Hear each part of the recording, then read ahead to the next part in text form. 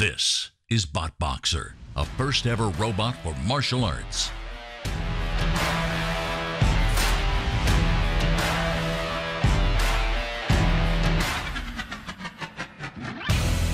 When was the last time you heard of a technological innovation with boxing bags?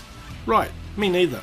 But while doing searches for new technology, I came across BotBoxer, which is the world's first robot punching bag.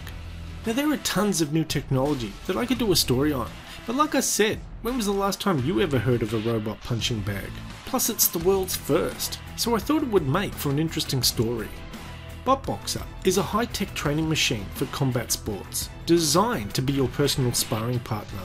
The robotic punching bag recognizes and escapes your attacks and adapts to your level of technique. Meaning, the better you are at punching the bag, the better it gets at avoiding you.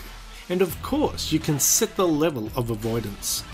BotBoxer has modes and features to make it nearly impossible to hit, and you can change the settings to suit your specific level and needs.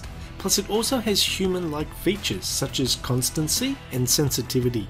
Constancy can scale up from 1 to 10, 1 being it makes a lot of mistakes, 10 being it makes no mistakes at all. And sensitivity also has a scale from 1 to 10, 1 being very sensitive and will freeze up after a hard hit, 10 being it will not freeze up at all. One of the main unique features of BotBoxer is called computer vision, which watches and tracks your movements when throwing a punch. It reads your movements as well as keeps track of them and uses that information to learn your fighting style and adapts to it. When BotBoxer avoids your punches, it does not use preset movements to avoid you. It actually learns and stores information and adapts to you.